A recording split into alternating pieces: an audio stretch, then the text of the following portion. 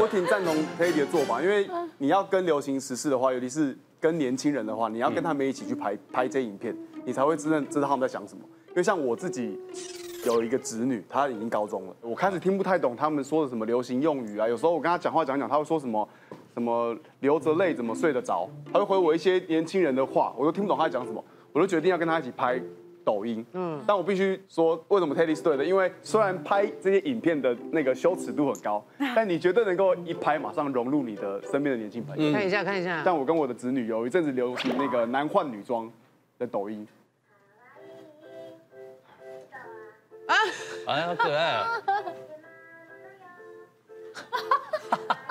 还蛮可很可爱啊，那种亲子，哎，很可爱啊。对对，就就这种，甚至有时候那个下面网友还会留言以为我们是情侣，就会满足一点点变年轻的那种虚荣心。然后刚刚那影片不是最后一个毛衣吗？然后因为我们是找不到那种很成熟的衣服，我就去我妈妈的那个衣柜偷。就是所以你会透过这些过程跟那些比如说子女或年轻的的朋友们会有一些过程，那个是是制造影片过程其实蛮有趣的。对虽然后面有被妈妈骂了，因为把那个撑坏把那个毛衣弄得跟那个糯米肠一样，但是很蛮有趣的，就是你可以跟你的朋朋友们互动这样。真的自己会变耶很！我现在去前阵子不是带小朋友去韩国吗？哎他们现在真的要靠他们了。韩团流行什么什么东西，这样去哪里买的？他们然后进去一家店也是说是不知道谁代言的，然后他们所有青少年全部说哇，好幸福，好想住在韩国。然后后面一排妈妈就这样，看不懂哎，真的真的看这个这个我懂哎。因为其实我的呃，我做服装嘛，那我们公司的平均的一些 sales 年纪都大概二十几岁，所以其实我自己就会觉得说，哎，要带他们，要管他们，其实就要融入他们。因为我做流行跟韩风也有一些关系，所以我就会发现他们听韩韩国的歌曲，然后我就会开始，反正我都要运动，要去学跳舞，我就干脆去学韩团的舞蹈。那我就觉得说，比如说我现在已经五十五岁，我去跳那些舞，我就会觉得说，哎，真的得到很多年轻人的认同，就是说，说就是说，呃，你好棒哦，跳得很好。那我不休，你看，没有哎没有，但是我觉得跳起来，你就会觉得说，哦，你懂得它的卖点在哪特别有自里。信，对不对你就这是你的啊，这我自己在练习跳哪一个是你啊？后面的那个，黑色的那个，对，哎呦，那老师好好 sexy 啊，你看老师好调真的。对对对对哦。对，因为他就是调，所以就很多学生。学生对，哦然后然后我觉得去学这个以后，像人家前阵子不是要抢那个那个 Blackpink 的演唱会吗？哎，我三天都抢，哎都没有抢到。嗯，对，所以就其实就会觉得说。好啦，有尽力就好。但是我会觉得是说，我们在做流行的人，有时候你就要去体会它，那你才知道它的卖点在哪你看。现在韩国整条街全部都在流行穿那个 UGG 的鞋，然后它是拖鞋，啊，就有点像那种英国人会在家里穿的那种拖鞋，前面包起来，然后底下是薄的这样。保暖。贵妇的拖鞋这样。韩国路上全部都是。对，他们就很容易比台湾更容易一窝蜂。对。对。对，好像最近也都在流行那个 Polo 老的，嗯，老的衣服。哎呀，嗯就是 Polo 的衫古着，哦，然后或是那种就，Polo 是衫算古着，类似像这样子的毛衣，但是是 Polo 的，那个年代很多这种。八零就比较对就是比较传统成熟对对对对，或是像它是这种外套，但是是 Polo 的这样嗯，就是这种 style 啊。所以你是古着，我是对对有跟跟到有跟到吗？有跟到有跟到有跟到，跟很紧。其实像这种像这种从众行为啊，我们心理学叫做从众行为，就是跟大家一起做。那就像刚刚叶婷姐讲，就是从众会获得两种主要感觉，一个是归属感，一个是认同感，而且你可能可以去体验年轻人的生活。但大家可能就这样跟风正好吗？有人会说每个跟风后面都有他各自的寂寞，可是实际上有些有的跟风是很好的，比方说政府可能用这种方法来做一些卫教或宣导，比方说德州那个时候。市民都在乱丢垃圾，然后怎么劝都劝不好，后来就找来一个球星哦，就把那个铝罐呢，然后弄破，然后弄他说啊，你要制造德州的脏乱吗？哈，我们可以维护德州的干净，这样就光是拍这个广告，很多年轻人就开始模仿他那边折铝罐啊，丢垃圾到一个适当的地方，就那个德州的垃圾量呢就减少百分之七十。所以其实如果好好运用从众的话，或许反而是一股力量。没错，没错。其实就像是我们都会找一些年轻人的偶像啦，就是去拍一些反毒大使啦，或者是反烟的嘛、戒烟的这一种公益的活动，就是透过希望透过我们的影响力，能够来呃创造一个流行的正能量。嗯，那还有哪一些觉得累哈，然后会这种凑热闹的行为？请问一下幼儿园哈。好，最后呢要看排行榜上的第一名到底是什么呢？就是各种节日都要过，派对就是开好开满啦。这占了百分之三十七点五。有网友就分享呢，自己有一个朋友呢，真的是拖网，什么 party 他都可以去，而且什么样子的聚会他都有。一开始呢，想说，哎，跟风跟着他到处去凑热闹也很好玩，不过没有想到花钱如流水，实在是口袋空空。最后呢，就是有妹的局再去就好啦。也是的，现在大家应该都是这样吧？那叶玲姐的小孩应该也很难到处四处这样凑。哎，可是她小孩也大了。我小孩很大了，可是我从小就像刚刚开始我讲，我不是带他们追明星，我带他们追的是球星。那其实他们从小就爱打篮球，所以只要有 NBA 的球星来的时候，那他们有时候就会找一些艺人一起去看球赛。我就会问制作单位，那我们会看到那个球星本人吗？他说会。他说，那我说那可以要签名。他说，呃，可以准备，但我们不敢保证。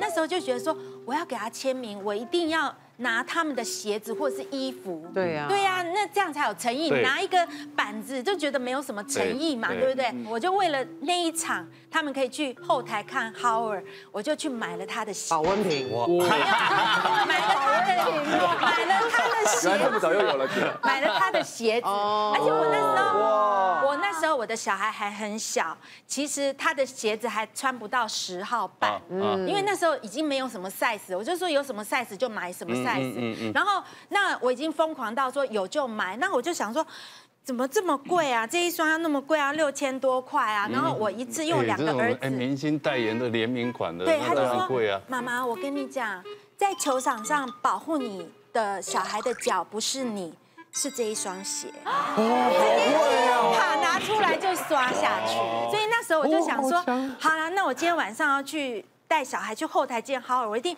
衣服也是买 Howard 的 T 恤，然后鞋子也是要买 Howard 的，给他签名才有诚意嘛。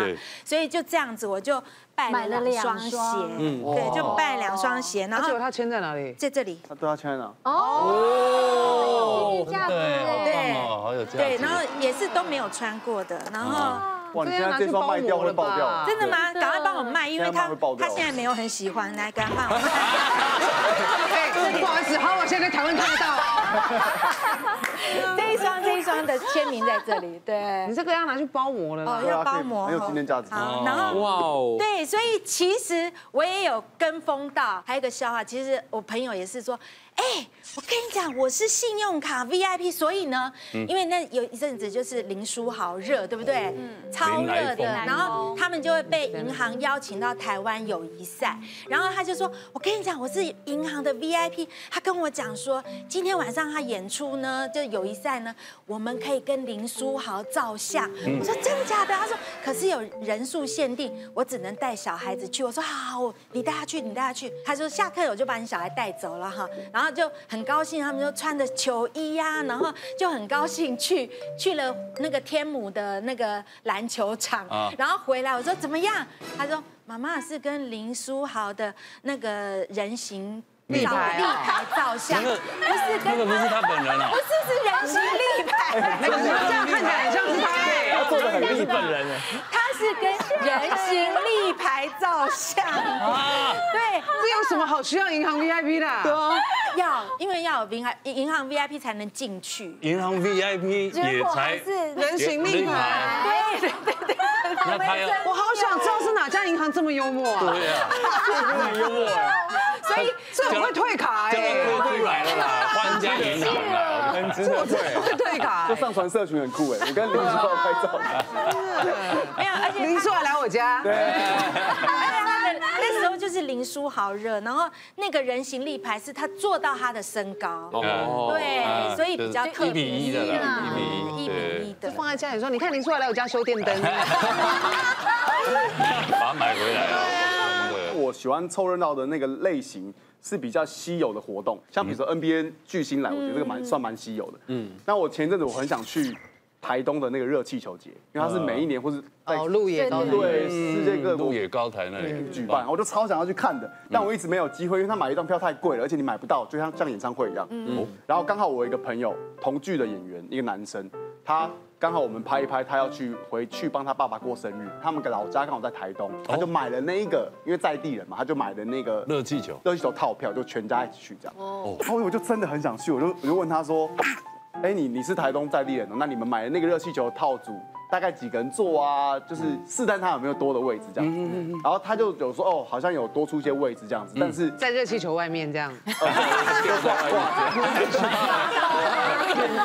因为我我我想我想我想要刚好刚好能不能就是去蹭他一下，因为我跟他蛮好的，但是因为又有点奇怪，因为他是家家族聚会又帮爸爸庆生，而且他跟我说他看你去干嘛？台东是他外婆家，他也没带过任何的朋友或者是女朋友回去过，所以他就会很怕家人会不会想太多，嗯，就有点有点怪怪的这个。哦怕不知道你是朋友还是女朋友？就是一个外人啊，超级奇怪。但我就真的很想去那个热气球，我就说服他说拜托，那因为你我们从彰化开车到他的台东的老家，要走那个垦丁那边过去，我们 Google 看他们差不多六个小时，哇！所以我就说你这样自己开太危险了，我帮你分担，我一人帮你开一半，然后油钱我们一人一半，我就说服他这样，他说就被我说服了，哦然后我也如愿的去参加了。热气球，聚会家族聚会，跟他父母跟家家族一起，但是他父母应该现在觉得莫名其妙吧？对吧？哇！但是你后来你后来跟他父母相处了会不会比较好一点？后来就入赘了，没有，就是真的，我觉得超级值得的，因为他是从那个日出开始看，对啊然啊。后看完之后升空，然后路野高台的这个热气球已经是有做出一个口碑了应该是世界级的。对啊。凑热闹，其实还蛮对蛮开心的。是，不过听说凑热闹这件事情，其实可以看出我们的性格缺点哦。嗯最后请海苔小帮我们做个测验。你身边的朋友如果做哪一件事情你会最不舒服？那第一个是跟风买东西，然后第二个是追逐时事梗，第三个是喜欢围观，第四个是参加聚会。不论你有没有做这件事，但身边的朋友做哪一件事的时候，你觉得哎最不舒服就啊好，请举牌。身边的朋友，哎哎，都三呢，哎，三，都三啊，清一色都选三呢。都三啊。好，那我们先从二开始说。其实这个你最不喜欢的东西，通常是你心中的黑暗面，就是你最排斥的东西。那如果你是觉得，哎，追逐十个你最无法接受的话，表示你是不喜欢平凡的，你很害怕跟大家一样，你想要跟大家都不同，你在这个流行的尖端，所以有时候你会觉得走走脚底有点刺刺的，因为太尖了。好你现在在讲笑话吗？那这种人呢？好，众人老师是诗人是可能是在走健康步道。对对对，众人你要怎么样去做一点小小调整呢？就不要每一件事情都想要赢，有些时候让别人赢一下，那也没有关系。好，好那接下来我们看第一个，如果你是属于跟风、想要喜欢买东西的，哎，你很讨厌这种行为，代表说其实你内心是一个很害怕空虚的人。我之前有贴过一个贴文，叫做“空杯症候群”，就是你会觉得你内心像一个空的杯子，不管是塞什么东西都不会满，因为下面有个洞会不断的露出来。哦你买越多东西，其实心里面是越空虚的。那这样的人呢，我们会建议说，其实你的人生有一个重要的课题，你正在逃避，透过买东西、吃东西去跟风，然后去逃避你真正重要的事情。好，那接下来我们看第四个，参加聚会，可能大家说哦，朋友约啊，然后就一起揪啊，一起相聚啊，这样。但如果你是选这个，通常你是内心很害怕孤单的人，你会希望大家可以聚在一起。可是聚久，了，你就会发现，跟大家聚一起，你反而会有一种一群人的孤单。就虽然在人群当中，可是还是会觉得有点落寞的感觉。那如果遇到这种情况，我们会建议说，你给自己一点时间，有些时候跟自己相处，可能反而会更自在。那在场大家都选三嘛，对三到底是什么呢？其实你们看起来是不一样两群人嘛，对根本都是一样的。嗯那是哪一种呢？喜欢围观的人，就是有一种错失恐惧。错失恐惧是一个心理学的专有名词，就是说你很害怕失去一些重要的讯息。如果别人知道你不知道，你会有点小担心，你希望跟大家都知道同样多的东西。那像这种人呢，我们会建议人生本来就有得有失，嗯你花什么时间在选择某些资讯，你就会错失一些资讯，所以不用全部都到手，只要去守你的防守区域就可以了。OK，海苔同新书，因为有黑暗，我们才能在彼此生命里靠岸。那大家多多支持多多支啦，持，谢谢大家哎，真的，我觉得不要盲目凑热闹。嗯，那了解现在流行什么，这个也不是一件坏事。是的对对？可以多学一学，反正活到老学到老啊，对啊对不对？常保一颗年轻的心，这是最重要的。没错啦，因为你不知道，不是每一个流行都适合你。像最近就流行没有眉毛，你敢试吗？对啊所以就找自己适合的就好了。今天谢谢大家的讨论，喜欢我们的节目，欢迎上我们的粉丝团来按赞、留言跟投票，谢谢大家。谢谢。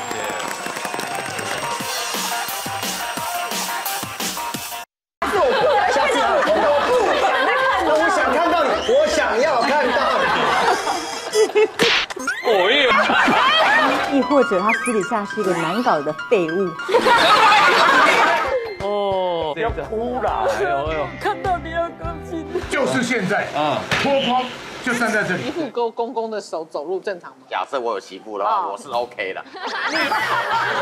小姐不息地二十四小时不断线，强档综艺节目热映中，搜寻东森娱乐台。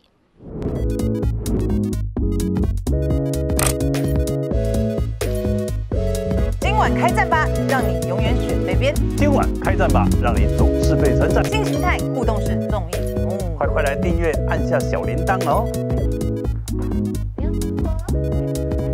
小铃铛哦。